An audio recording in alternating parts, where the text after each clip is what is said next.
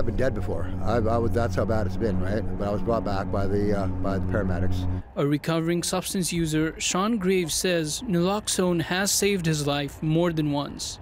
Now, as a student in the street degree program, he has learned how to use it himself. I, I make a point of uh, freeing up my schedule to make sure that I at least go to the co- make the course. Classes are held two days a month at Japanese Hall in Vancouver's downtown east side. As an instructor, you really get to see people gaining confidence and skills and, and getting good at using the tools that they need to use. In 2023, there were upwards of 2,500 suspected illicit drug deaths in the province.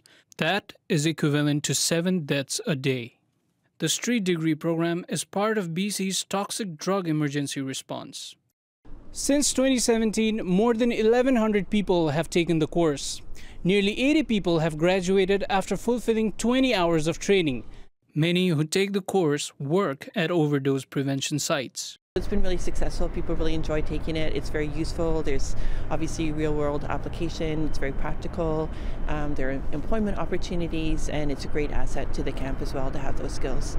Start working with us as a, a casual educator, you know, end up managing at a different OPS and just uh, or become a drug checking expert. One of them is Crab Park resident Clint Redden, who has worked at a number of overdose prevention sites.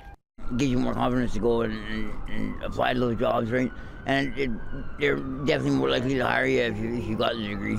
Well, it means a lot to people to get the degree. People often want their photo taken with the degree, they want to send it to their families. The program also teaches broader skills such as conflict resolution, public speaking, and life lessons.